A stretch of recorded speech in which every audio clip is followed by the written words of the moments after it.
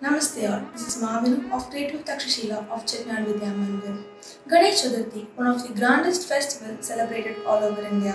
It is always believed that Lord Ganesha is the god of new beginning, the remover of obstacles, and also the god of wisdom and intelligence. Yearly thousands of Ganesha idols are being immersed in river and other water bodies as part of this festival, but it harms our environment and also at the same time it affects the aquatic life. It's high time for all of us to opt an eco-friendly way. Let us all avoid Ganesha made out of chemicals and opt for Ganesha made out of clay. But at this pandemic situation, we'll not be able to get out of the house and get a clay Ganesha. So come on friends, let's see an easy way to do the Ganesha in clay.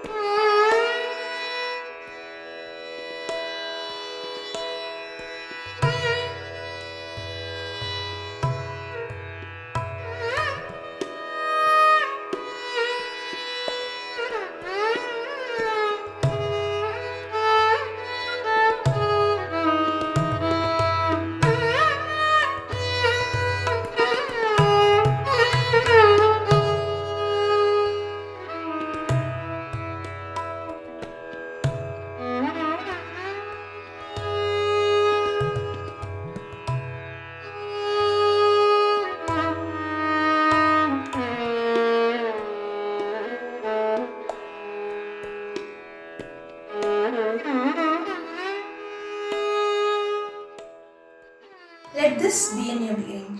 From this Ganesha Chaturthi, let us all opt an eco-friendly way and also let Lord Ganesha bring us lot of wealth and happiness. Happy Ganesha Chaturthi.